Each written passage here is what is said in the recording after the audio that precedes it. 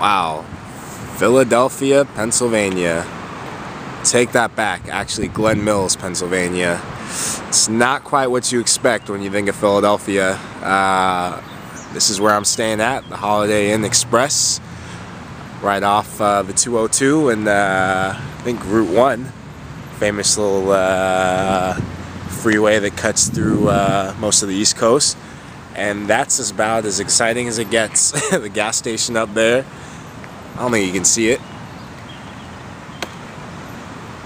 Yeah, I wish I could zoom in a little bit, but this is for budget cuts. The gas station up there. There's a couple cars right here coming in. Wow, got a little smile. Wow, smile from him. I think we kind of like the first smile from her.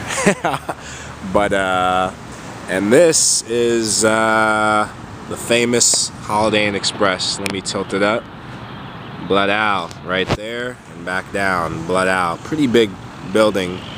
Um, all right, well, let's take it in. Watch your step. We're crossing right here, five miles an hour.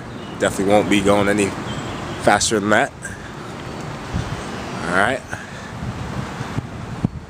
You can see it's totally different from anything on the, the West Coast or Southern California you'll see. A lot of green, very quiet, not as many cars uh, flipping by. As you can see, pretty uh, nice entrance. Got a dude trying to sort his life out down there with his car. And he's in his trunk. And uh, here we are, Holiday, uh, Holiday Inn Express coming through. Wish I could zoom out. Dang, those budget cuts. All right, we're coming in. And uh, got a guest right here. You say what's up? Yep, what's up? and this Yeah, is what's up, man? Shake that hand, Justin. Justin, my name is Mike, and uh, I'm doing a little uh, just uh, welcome to Philly thing.